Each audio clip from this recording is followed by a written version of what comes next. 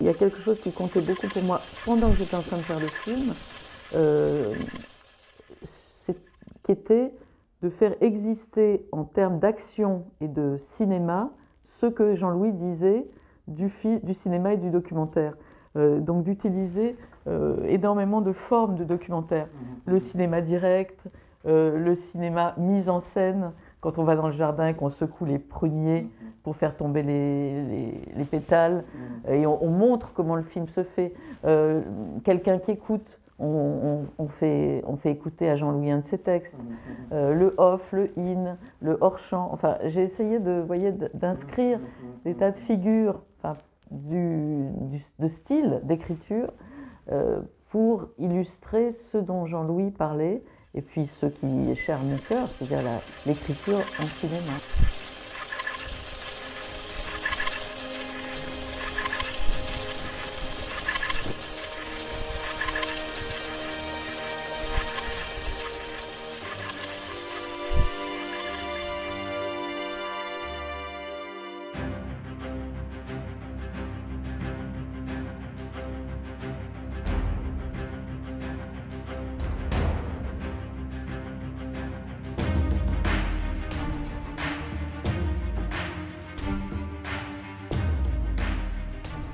6, 2, 55.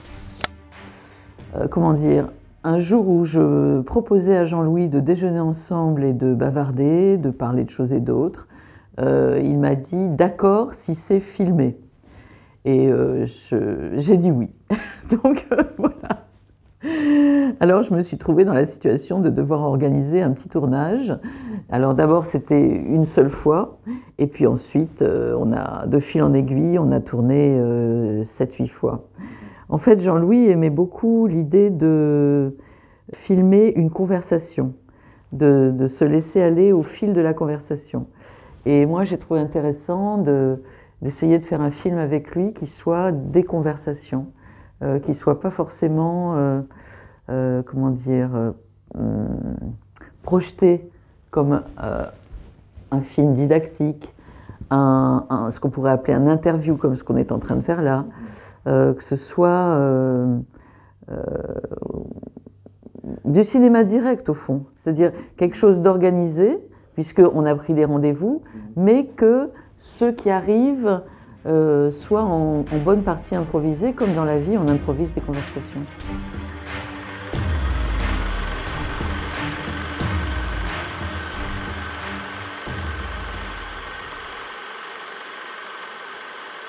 C'est vrai, c'est vrai, c'était euh, parce qu'on se connaît depuis 30 euh, ans, 35 ans, et que on a vécu énormément de choses ensemble. À travers, bah, j'ai écrit un scénario pour lui, on a participé tous les deux avec d'autres amis à la fondation de l'association ADOC. On s'est beaucoup euh, rencontrés euh, à travers les années, on a échangé énormément de choses. Voilà, donc euh, il y avait une, proximité très forte entre nous et, moi j'étais contente d'accompagner quelqu'un que j'ai beaucoup apprécié, là, cette année-là, puisqu'il me le demandait au-delà des mots, de la personnalité de Jean-Louis, de, son être. Et à travers, euh, bah, ça s'est passé à travers des choses qui se passaient dans la vie, tout bêtement, puisque Jean-Louis, il, n'allait même plus dans son jardin, en fait, à ce moment-là. Donc, euh, on était à sa table de travail, euh, entre son fauteuil et sa table de travail, et, pourtant, il se passe plein de choses, en fait, entre le fauteuil et la table de travail, parce que on est dans, dans des relations. D'ailleurs, il le dit à un moment dans le film, Jean-Louis, il dit le documentaire est un sauveteur. Euh, il, va sauver, garder la trace d'une relation. Et je pense que c'est ça, en fait, qui est filmé. L'invisible, ces liens qu'on avait comme ça tous les trois, euh, dans leur euh, épaisseur, dans leur complicité, dans leur complexité, dans leur simplicité, bah, j'espère qu'ils sont captés. En tout cas, c'est ce qu'on a essayé de faire d'aller au-delà de, je dirais, la performance d'un entretien, d'une interview, pour euh, euh, filmer des moments entre nous.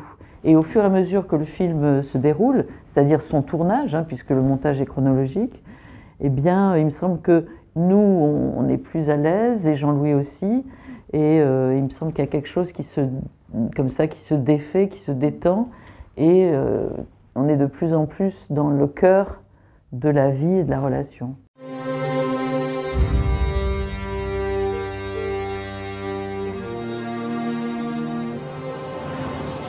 Oui, oui. C'est-à-dire que Jean-Louis m'avait dit attention, euh, tu sais que quand même, filmer une seule personne pendant un certain temps, ça risque d'ennuyer les gens. Donc euh, lui pensait que le film durerait moins longtemps. Et euh, à cause de ça. Et en fait, il me semble que ça va la durée là, parce que si on entre dans le film, si on entre dans cette intimité, dans cette attention, on est, il me semble qu'on est là avec lui dans, voilà, dans la simplicité de la fin de vie de quelqu'un qui a beaucoup d'intensité et qui est toujours au travail. Il est toujours dans la vie.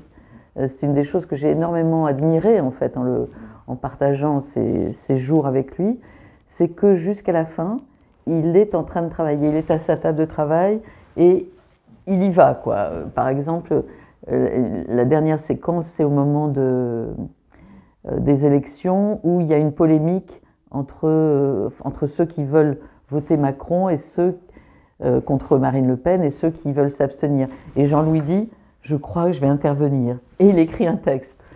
Ça, je trouve ça bouleversant. Quelqu'un qui est juste euh, voilà, aux portes de la disparition bah, pense que ça vaut la peine d'intervenir et il va le faire. Il va le faire, il va intervenir et il écrit un texte euh, très beau voilà, sur ce qu'il pense qu'il faut faire.